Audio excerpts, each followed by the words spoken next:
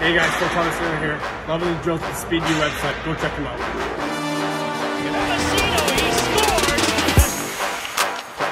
He didn't assume now this one.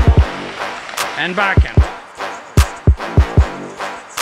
One, two. Cross. That's it. Forehand.